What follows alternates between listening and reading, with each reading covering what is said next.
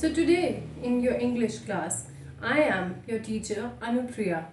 We'll be learning about adjectives. Surprisingly, you wouldn't know, but you use them every day in your life. How so? Let's find out. Let's learn what adjectives are. Adjectives are words that describe a noun in a sentence. They are essential when we speak English words that give us information about the noun used in a sentence. Adjectives add meaning to a sentence. They are a part of a bigger group of words called the modifiers. Next, what are the uses of the adjectives? There are various kind of adjectives, but what defines the adjectives are the nouns. Since adjective use different kinds of nouns, we'll be learning about them as well. So what are nouns and what are its kinds? You must have learned that nouns are of many types. Example, the common noun, proper noun, gender noun, countable and uncountable noun as well.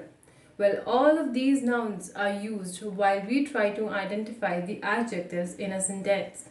The common noun being dog, city, day, table, movie. Your proper noun being New York, India, John. Pronouns as she, they, her. Gender noun is cow, princess, hero. Countable and uncountable noun include number, digits, or often used as much, many, enough. So how do you identify an adjective in a sentence? Supposingly you have this example as the girl is nice. So what do you understand what the adjective could be in this sentence? Well, when you say the girl is nice, we're talking about the girl. So she is the subject over here. So what are we trying to tell about her? That she is nice. So nice could be an adjective while we are trying to describe the subject, the girl. The next example. My students are happy. So what is the subject over here? My students. So what am I trying to tell about the students? That they are happy. Happy being the adjective over here. Adjective describe a subject, usually a noun or a pronoun. There are certain ways in which an adjective quantify, describes or tell us about. There are certain ways or we could use the adjectives in a sentence. So while we try to describe or quantify a noun in a sentence, there are various ways which are the first, the quality or the opinion. For example, delicious, beautiful, good. For the size, we could say tall, short, big. For age, we could use old, young, new, elder. For shape, round, oval, square. For color, red, pink, green or any other color. Origin, India, Korean, Mexican. Materials could be gold, wooden, glass. Purpose could be, for example, uh, sport, coffee. So these were the few examples in which you could use an adjective. Could be first, Sheena is a young girl. Here, the subject being Sheena is a girl. We're trying to tell her age, that she is young. This is a tall tree. Tall being the adjective over here since we are defining tree by its height. It is a pink panther. We are telling about its color. So it could be an adjective too. Similarly, the rest of them. My hair is black. The weather is sunny. They have six cars. That book is from India. And they have got great ideas.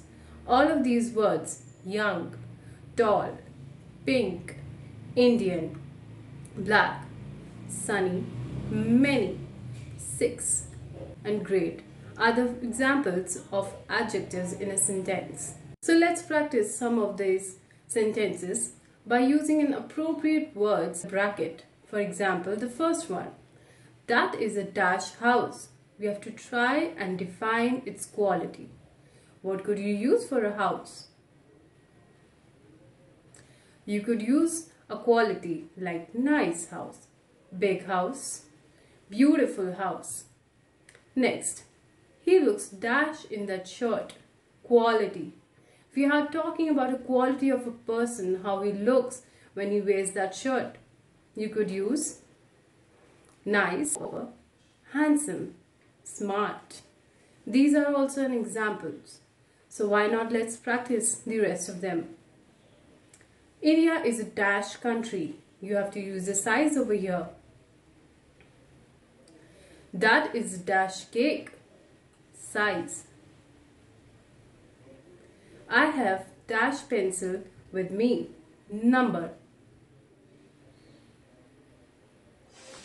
I bought dash dresses yesterday.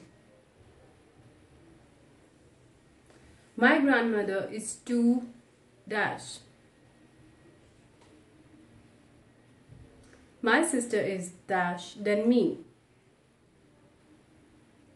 Her brother has dash color pants.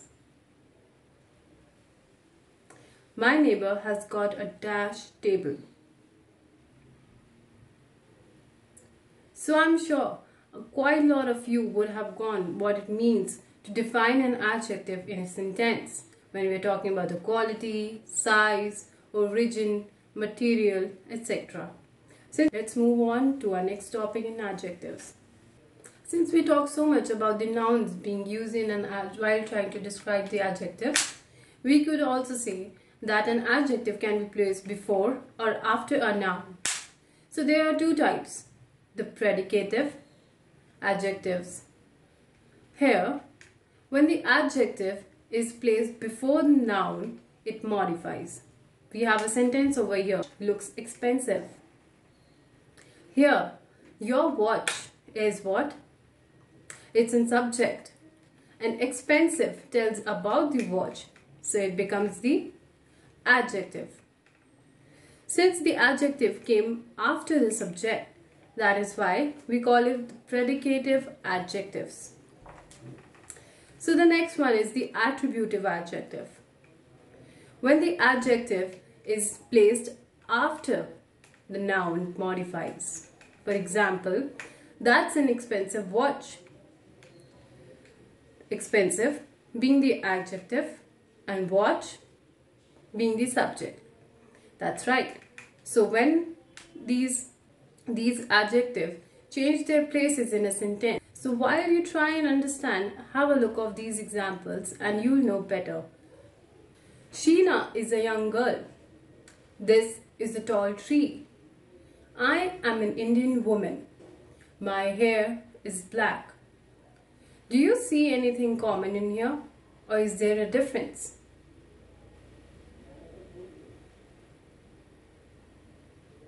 like we learned about the predicative and the attributive adjectives here. Sheena is a young girl. This is a tall tree. And it is a pink panther are examples of my hair is black. He has got such great ideas. Can you differentiate? Yes, there is a difference of predicative and attributive adjectives in them the differentiation is the placing of the adjective before and after the noun. So now that you understand how adjectives play a major role while forming, let's move forward and understand the types of adjective that we use in a sentence. We have the first type over here, the qualitative adjective. So what do you understand by the word qualitative? Quality, right? When we are talking about the quality of an adjective, we understand that it is a qualitative adjective. A qualitative adjective describes the size, the shape, the color, or the attribute of a person or a thing in a sentence. A few examples with us. Examples, what a beautiful horse. I never wear a blue shirt.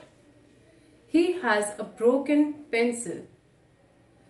The clever girl fooled the boy. She is a successful person. He speaks fluently. The quality being here in these examples are beautiful, blue, broken, clever, successful, and fluently. All of them tell us about the quality of the thing, an idea, or a person. That is how you identify a qualitative adjective. The next type we have is the quantitative. What do you understand by quantitative? Well, the quantitative adjective, how it sounds, quantity. It tells about the quantity of a noun. It could be countable or an uncountable noun. We have a few examples to help you understand better what are the quantitative adjectives. She has 10 books with her. The exam was taken by 78 candidates. It gives me much pleasure to invite you to my house. They planted many trees in the garden. Kyra ate the whole burger. I have enough food with me today. The words over here 10, 78, much, whole, many enough are the words that are used is about the quantity being it uncountable or countable. Read the sentences again and you'll understand better. She has 10 books with her.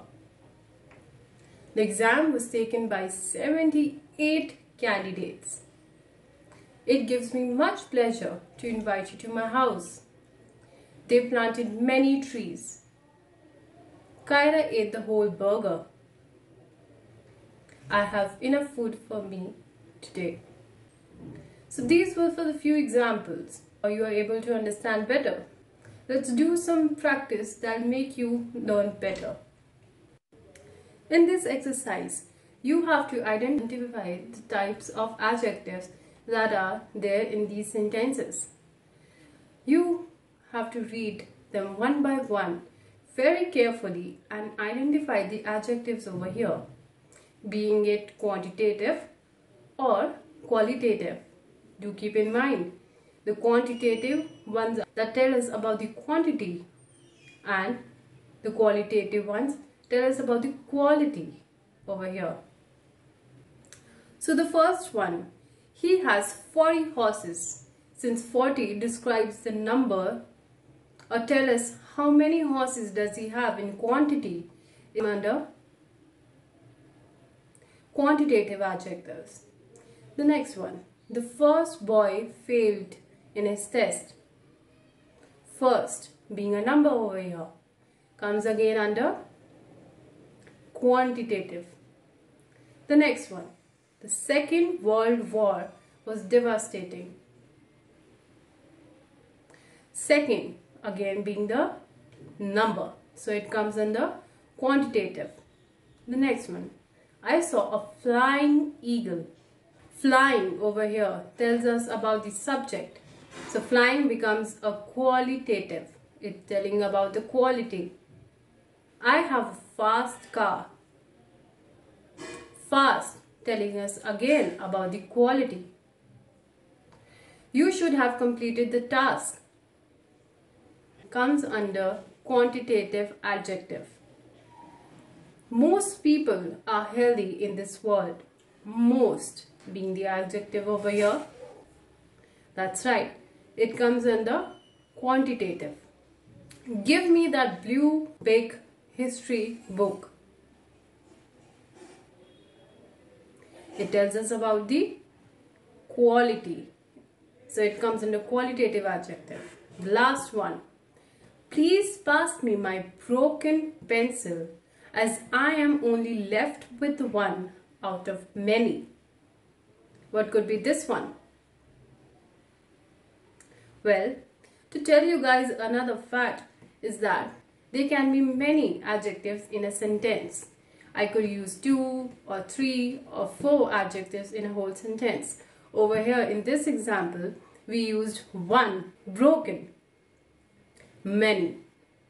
All these three come under both qualitative and quantitative adjectives. Hope this lesson was helpful for you. So let's do a quick recap so you understand the adjectives and their uses. First, the adjectives tell us about the nouns. They give us information about the nouns. They make the sentences more meaningful.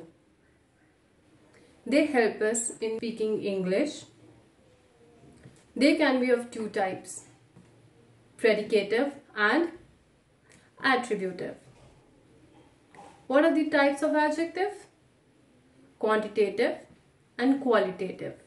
And do remember to use these adjectives in your daily life so you get a better practice and you understand better the next time you spot an adjective anywhere in a sentence or a conversation. Have a good day learning.